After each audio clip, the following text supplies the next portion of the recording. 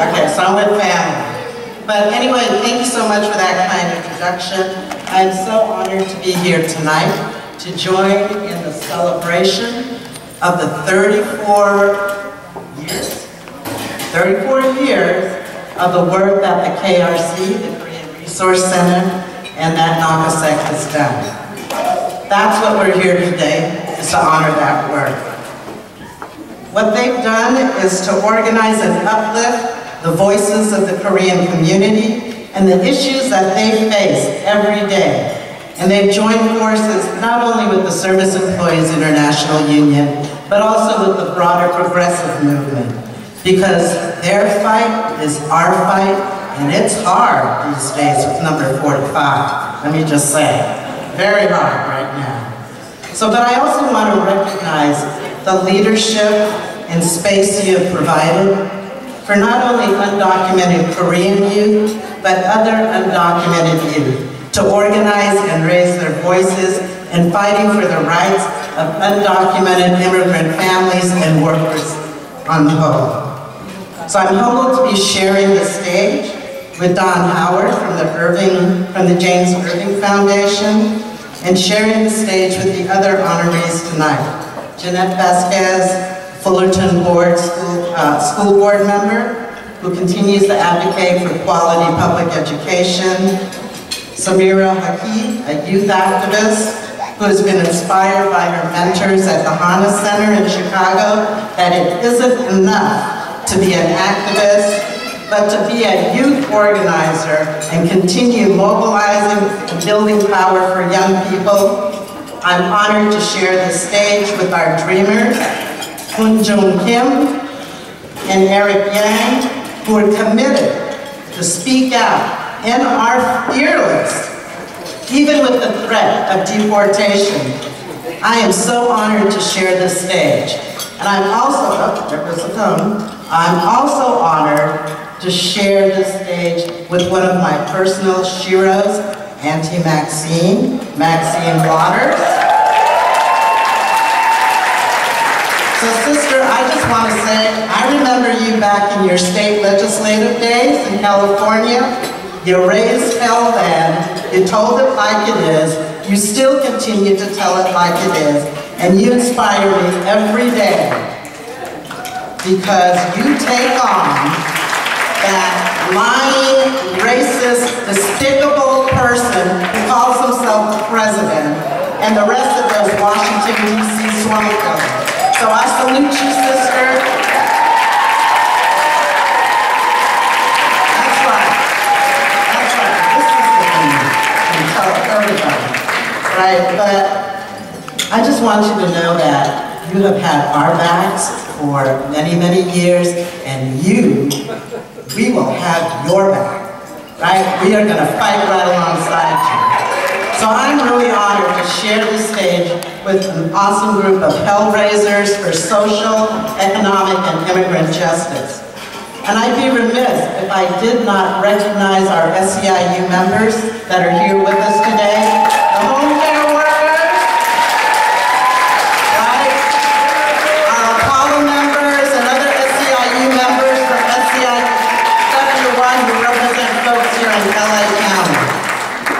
Now, home care workers are really close to my heart because it was one of the first group of workers that I organized right here in South Central LA, way back then, and then went on to coordinate the organizing drives of home care workers in San Francisco, Alameda County, and Santa Clara County. So they are very close to my heart. And I also want, want to acknowledge a woman who some of you may know, but someone who was a leader here in SEIU in Los Angeles, who had the tenacity and the vision that home care workers needed to come out of the shadows, they needed to have a voice, they needed to be organized into a union so that the public and elected leaders became aware of the important work that they provide every day. And that woman is Ophelia McFadden, who's passed on, God rest her soul. And I want to thank our that have continued that fight with home care workers. Alfonso Butler, who has continued that fight and will continue to organize long-term care workers. So a little bit about my story. I've been an SEIU member for a long time. I grew up with SEIU.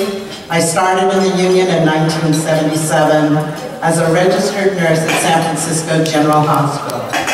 And then I was asked, don't you want to like organize some more, Luisa? Take a leave of absence for a year. So I did that. That was in 1990, and I never looked back. So I had the opportunity not only to develop my leadership, but also to be able to build our union to be one of the largest unions in Northern California and the largest healthcare union. So that was in the early days of work. So now that I'm a national officer, let me share with you some of the work that I'm doing now. I am responsible for developing and building the SEIU Civic Engagement Program and Leadership Program. I am responsible for leading the work on environmental justice and climate justice. I'm responsible for building our millennial program and I'm very honored to do that work. And it's really hard to do that under these times. But for API and the civic engagement work that we're doing here, it's not enough. It's just not enough work that SEIU can do by its own. We have to do it in partnership with the Asian community because we can't do it alone. But some of the research has shown that we are a diverse community. We speak 42 different languages. And we have to have the leadership of our API community to be able to reach out not only into their membership, but also into the broader community. So according to the last census, APIs total 21 million as of July 1st, 2015. That is up 3.4% since 2014. We used to be less than a million in number before 1965 and it's estimated that we will reach 5% of voters nationally by 2025 and 10% of voters by 2044. Sisters and brothers, we can be the deciding factor in key races at the local, state, and federal level. And I urge every single one of you to make our voice count and make sure you get out to vote. Not only this year, we've got elections this year, but definitely in 2018 and beyond because we have to have a seat at the table, we have to raise our issues and hold those elected officials accountable. They can't just promise us that they'll do the work, we have to make sure that they actually carry it out. Because we're the ones knocking on the doors, we're the ones phone banking, and it's important that all of us do that. So, for the nine and a half months since that crazy man in D.C. has been uh, trying to leave this country, he says, uh, it has been really, really hard. Very hard. I don't know how people in Washington, D.C. can stand it. And I'm lucky that I don't have a TV in Washington, D.C. because I think I would break that TV, right? Because they start in the morning and then the afternoon it's something else. And by the evening it's all crazy again.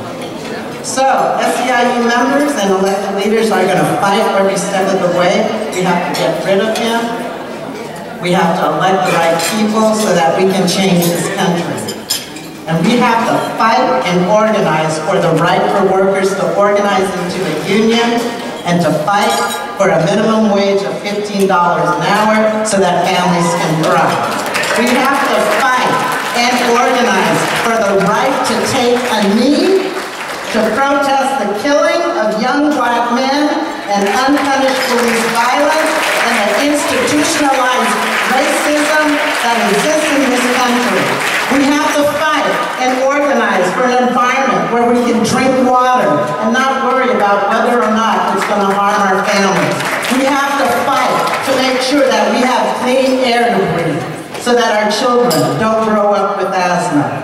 We have to fight and organize public education and the ability to send our children to college so that they can be future leaders of this country but not be in debt for the rest of their lives. We have to fight and organize for the right to affordable, accessible, quality health care and we will fight and organize for comprehensive immigration reform. We will fight for the rights of immigrant workers and students who every make contributions to our society and help build our economy. So workers and their families are the backbone of our country, and it is time to stand up and organize and fight like hell for a better country, and we can do this together. Thank you so much.